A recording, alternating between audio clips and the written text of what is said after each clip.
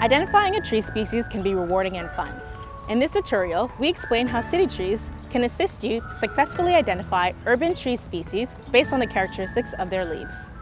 There are several questions you must answer as you observe the tree to be identified. Answering these questions in Citytrees has you work through what scientists call a dichotomous key. Let's get started. First thing you will want to do is determine whether your tree is a broadleaf deciduous, characterized by broad flat leaves that are shed in winter, or coniferous, cone-bearing with needle-shaped or scale-like leaves. Next, if your tree is broadleaf deciduous, you will next need to describe its leaves.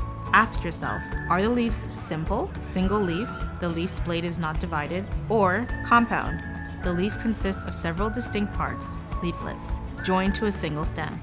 If the leaves are compound, you will need to identify if they are pinnately compound or palmately compound. Palmately compound leaves have the leaflets that are fanned out and originate from one location, whereas the leaflets of pinnately compound leaves are arranged along a central stalk. Remember, one leaf consists of all of the leaflets. We now observe the edges of the leaves to determine if they are rough, pointed, or tooth-shaped leaf edges may appear jagged, or smooth. Still looking at the edges of the leaf, ask yourself if it is lobed, having deeply indented margins, or not lobed.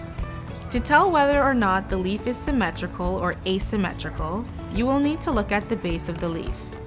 If the leaf on either side lines up perfectly with the stem, then it's a symmetrical leaf.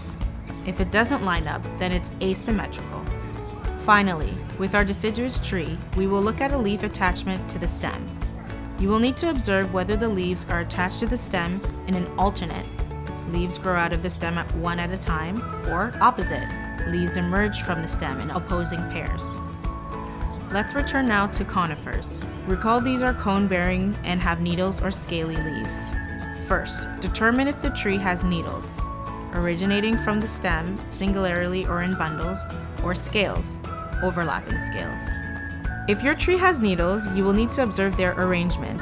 They could be growing singly or in bundles of two or more. Finally, look carefully at the needles to determine whether they are straight or twisted. Sometimes, tree species identification will require you to measure the length of leaves, so a small ruler can be a handy tool. Also, a trusty tree ID book is always useful and will introduce you to other distinguishing tree characteristics including bark, flowers, fruit, and tree structure. With practice, you will become more confident with your identification of tree species.